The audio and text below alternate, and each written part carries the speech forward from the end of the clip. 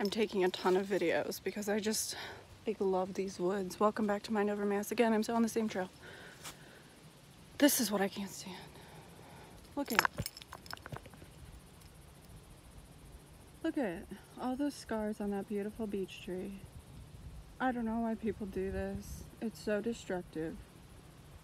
It's so awful.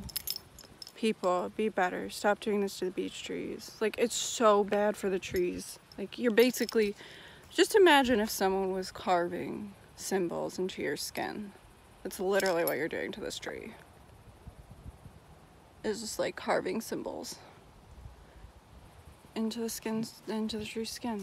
You know, I have to say, like my ankle was really killing me, my hips were killing me, my knees were killing me. And I just walked into these woods and I was just like, this is so peaceful. Like there's something about these woods that makes me want to stay here forever. It's so peaceful here. I really, really like this trail. It's just so peaceful. And it's times like these where I'm just like, if there's any kind of peace that makes me think there might be a God, it's this kind of peace.